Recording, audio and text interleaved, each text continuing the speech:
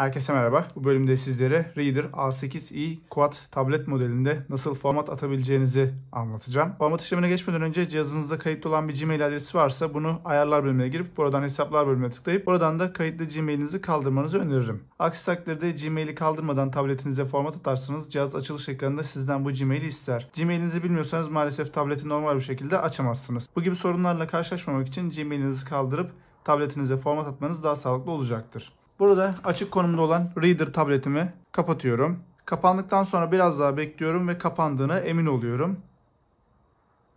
Evet bu arada format işlemine geçmeden önce bu ve benzeri videoların devamı için kanala abone olup videoyu beğenip bana destek olabilirsiniz. Şimdi format işlemimize geçebiliriz.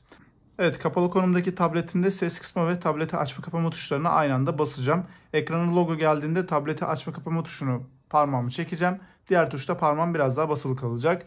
Şimdi işlem adımlarını geçebiliriz.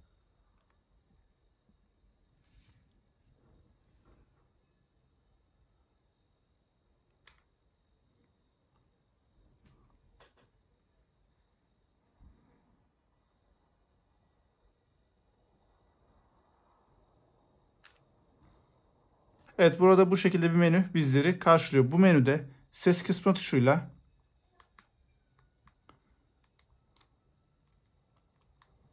Recovery moda geliyorum. Recovery moddayken tableti açma kapama tuşuyla bir kez onaylıyorum.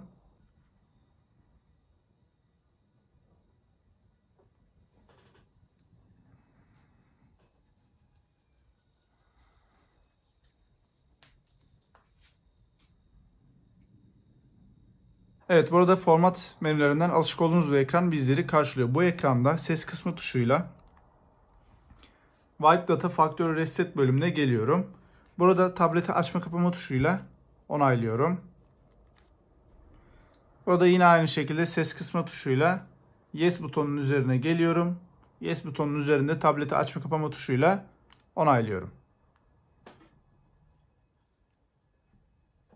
Evet bir önceki menüye geri atıyor bizi. Burada en üstte bulunan Reboot System Now bölümünde tableti açma kapama tuşuyla tekrar onaylıyorum.